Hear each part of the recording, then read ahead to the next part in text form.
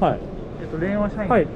あのあのね、来年からね、はい。えっと、吉田直樹、デカ長でした、はい。うん。あと、えっと、アウトフローの西山優君、はい。えピースメーカーの松浦佑君、はい。あとはあのジズの間でもある、はい。あの応援レダイの応援の君、はい。あとはアンファッチの大田吉高君、そこが、はいまあ、ヨッシーはね、あの山入るときは違うバッグとか使ったりするけど、はい。このブランドのコンセプトはトリップオンライフだから、はい。人生に旅だみたいな、そういったいろんな、彼は釣りが好きだったりとか、あのトリップが好きだから、そういうのでこういろんな、まあ、アイテムあるんで、そういったものを使ってもらったりって言って、まあその5人が一応アンバサダーとして。え来年モデルはあのーこのデカチョウカモおそうデカチョウ多分分パターンから多分初めてかもしれないけど、まあ、作ってもらって、えー、すげえ。アンバサダーになってもらったと同時にちょっとえー。一緒にやろうよデザイナーでもあるそうそうそうですね渋いでしょ。いやいっすで一応去年もあのあった13リットル、はい。26リットル、はい。で33リットル。33リットルだけ1色であとは3色。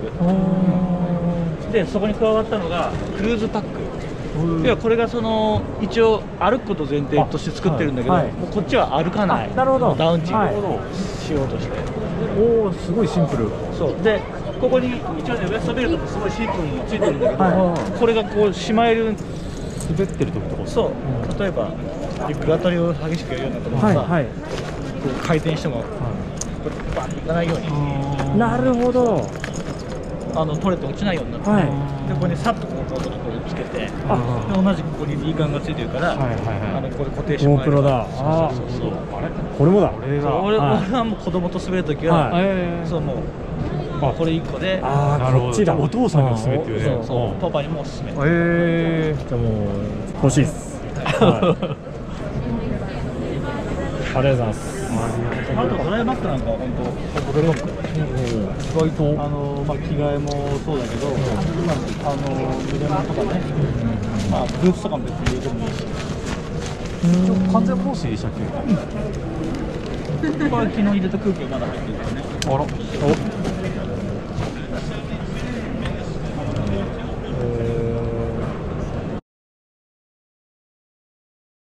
わめっちゃかっこいいどう？色色とかどう？じゃあバッチリだバッチリもうちょっとウォームかなと思ったけど、ここの色とバッチリいや全然あ、オッケーオッケー。じゃあこれでいこう。お披露目そうですか。本当はできてすぐ持ってくるなんて言ってたんだけど、すみません。遅くなりまして。かっこいいっすよ、かも。